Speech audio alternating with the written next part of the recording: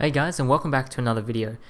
Well, recently Android O was released pretty much on Monday, so as usual I'll be going through how to update your rooted or modded Nexus 6P from, I guess, even the third developer preview, but you should have gotten that as a OTA update if you're enrolled in the Android beta program. Otherwise, if you're on Nougat and you're still waiting, and as I don't think the images are final either, there will be maybe a little bit of a change, but I guess we can get to our kind of like a release candidate version of Android O flashed onto our Nexus 6P here. And I'll be showing you how to do this using Fastboot, as uh, I think we should cover this a little bit more, and we'll go into kind of manually flashing it as well. So we're going to be using Magisk to root this phone, as it already works with Android O, and I think since we are accustomed to using Magisk as our super user management, so uh, we're going to be using that. And to get started, uh, let's let's go right ahead to our computer. So, of course, there are things that we need to download and get and set up. First up is the platform tools. So this is just ADB and Fastboot. These programs are used to communicate with our device, between our device and computer which is what we need. I do have videos here setting it up so you can kind of use it anywhere you like, especially on Windows. You can probably do the same for Mac OS and Ubuntu um, by making, a, I think, a shortcut or moving the files to the bin directory, user bin. Um, but I don't actually talk about that in those videos. But for Windows, I do show you how to add it to the environment variable or the path environment variable. So you can use ADB and Fastboot any way you like. These are optional. If you don't want to set it up on your computer, that's fine. Uh, there's another way to do it, and that is to download the SDK Platform Tools standalone zip file. And you just click on one of these links here, depending on whether you're on uh, Windows, Mac, or Linux. I think most of these do require a 64-bit operating system now, at least the ones for the Mac and Linux um, distributions. So we're going to download the Windows one, or whichever one is right for your computer. And last but not least, you'll also want to download the Android 8.0 system image. Now these are labeled OPR 6.17, and these are the same ones I believe that are being uploaded to the Android open source project like re, uh, source repo. And we're going to download the one for the Nexus 6P just like that and agree and hit this blue button to download it. I've already downloaded it so um, that's that. So you should have these three files here. Well I lied you also want to download the latest version of Magisk and that of course is obtainable through a link in the more info down below now I'll have all these linked out and of course you would just scroll down to the download section and then download the latest Magisk uh, zip file here. So you should have three files or two if you're setting up the platform tools. So that is again ADB and Fastboot using my way shown in these videos. Uh, if not, it doesn't matter. You'll have three files. But anyway, the point is that you'll need to use Fastboot for this. So for those downloaded the platform tools zip file from the Google's developer website, we're going to open that up first open up the platform tools folder and you want to extract these five or six files. So we need the first ADB file, this exe here. We need the two DLLs underneath it. They both correlate with ADB, you can see there. Next up we'll need the fastboot exe and of course the libwin pthread-1 DLL. Now I'm not sure if the ADB ones are actually necessary, but um, we'll just extract those anyway. So that's it, our five files that we need. Next up, uh, we'll copy Magisk to our phone, and that is also very important to have. Of course, we can use ADB to push it, and um, you know what? I'll show you how to do that, just to spice things up a little bit. And last but not least, we have our factory image. So next up, we'll open up our factory image, navigate to this folder, and since the bootloader and radio need to be updated, we'll extract both of those.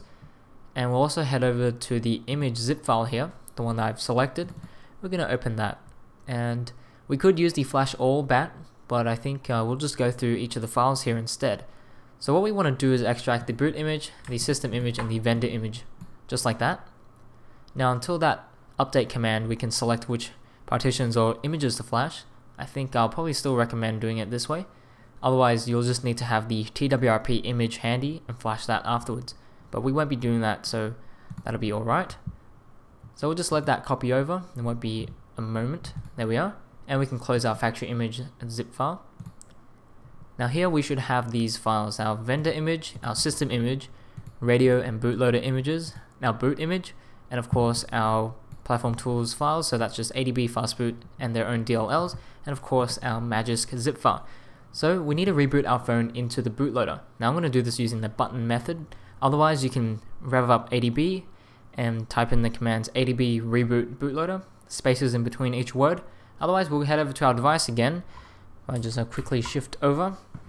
Of course, you want to unlock your device, and then you want to hold down the power button and power off. Now at this point you want to unplug your USB cable just so your phone doesn't start up again and show the battery screen. Now from here you want to hold the power and volume down buttons at the same time until you get into the bootloader which looks like this. Now if this doesn't work try letting go and trying again and make sure you're holding the right buttons as well. There you go. Sometimes it might take a couple tries here where you want to plug in your USB cable as well. Now we're in the bootloader. Make sure everything looks right we are going to flash our images. So heading back to our computer, we'll need to open up a command prompt window to this directory where our ADB files are and fastboot files, so platform tools files. Now to do this on Windows 10's creators update, you'll want to go to the address bar here like I've selected and type in cmd and that'll open up a command prompt window into this directory. Now I'm just going to make the font bigger I believe because that might be a little too small. There we are. Or if you're using an older version of Windows, you can hold shift and right click on an empty space and select the open command window here and that'll do the same thing. So once you have a command prompt window changed to where the files are, we can get ahead and start flashing the bootloader. So the command is fastboot flash bootloader. Usually there are spaces in between all of the words here. Leave a space on the end like so and we'll drag in our bootloader image onto the command prompt window and hit enter. Now after the bootloader has been flashed, we're going to reboot our phone back into the bootloader. So we're going to type in fastboot flash, I mean sorry, fastboot reboot dash bootloader, like so. And once our phone is back into the bootloader, we'll give it a sec here, we can now flash the radio and subsequently the rest of the images. So I'm going to type in fastboot flash radio, leave a space on the end here, drag in our radio image.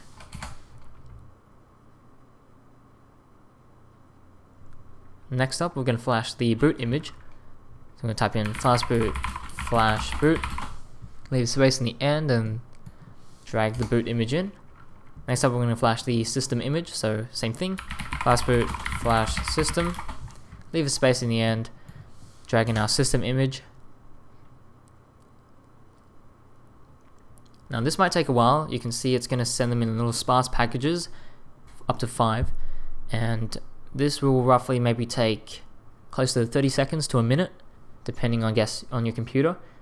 And uh, I'm just going to fast forward this until we finish and then we can go ahead and flash the rest of the images.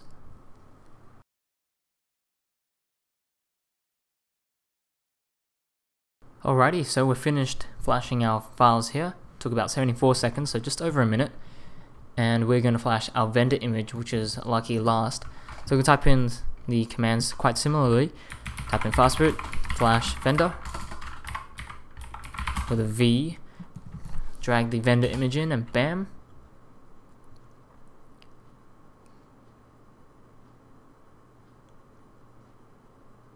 okay that's done now we're going to reboot into TWRP so I'm going to type in actually not type in anything we're going to go over to our device here and use the buttons to navigate down to recovery mode in red and then press the power button to boot into the recovery.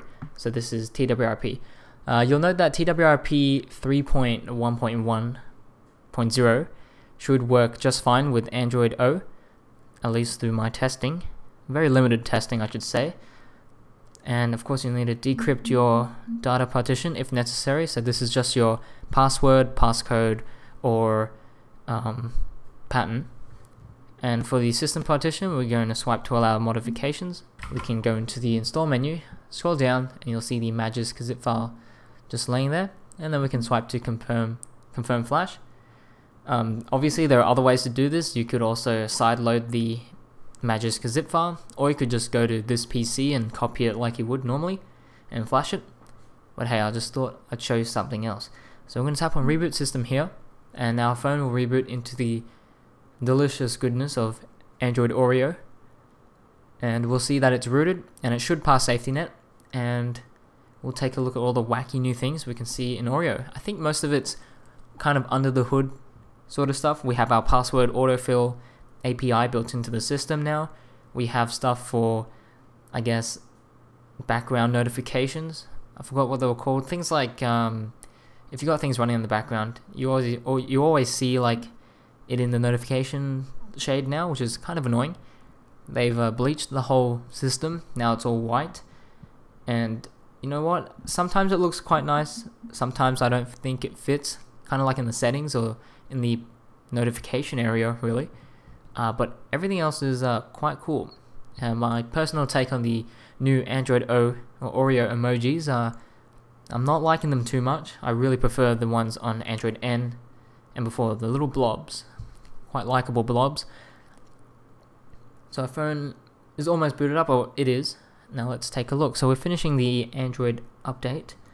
We can go in, our hideous adaptive icons are all square now. Never fear, you can change that with a custom launcher. Unfortunately, if you wanted to use the Google Now launcher, so this is what it's running currently, you can't change it from within here for now. So I'd recommend that you download a different launcher like, I guess, Nova even, with the Google Now add-in page, the little add-on for it. And or if you want to try out Lawnchair, I do have a video on that. So you can go check that out as well. Lawnchair is a very nice customizable pixel launcher with the Google Now page as well. So that'll probably you know, uh, spark your interest there. So let's check out if we are rooted still. I'm going to cross my fingers. Uh, yes, we are. Let's uh, check out our SafetyNet status. Now we are gold. So here I'm just going to go over, you can see our new notification shade here. Head over to our settings, we kind of have conflicting color schemes here. We've got this green and blue. And we'll go over to the system. You can see we are updated to Android 8.0. Now if we check for updates, it won't say any, but I believe there is a small update for those who are on the beta program. So if I go to About Phone, we can see we're on the 8.0, and we are o on OPR 6. Now you'll probably get the final OTA um, for the one they release after this, so that would be the actual factory images that you can see on our usual factory image landing page, rather than the Android developers page. And we can see the little octopus, I think,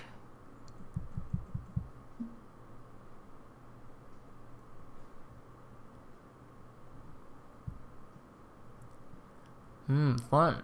Okay, so that's it for this video, guys. Hope you enjoyed it. Why, why is it so dark? And um, that is how you update your rooted or modded Nexus 6P to the latest and greatest version of Android, Android Oreo. Now, I guess this is a little footnote for those using like the Pixel mod or something like that.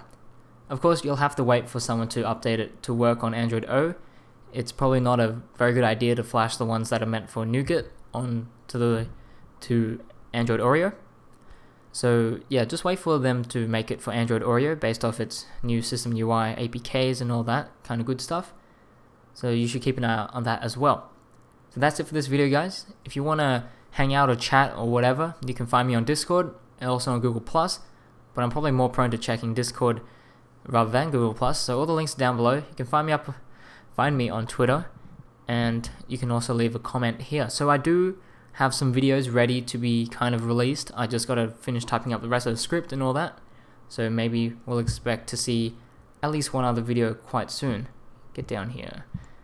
But anyways guys, that's it for this video. Thank you very much for watching and I'll talk to you all in the next one.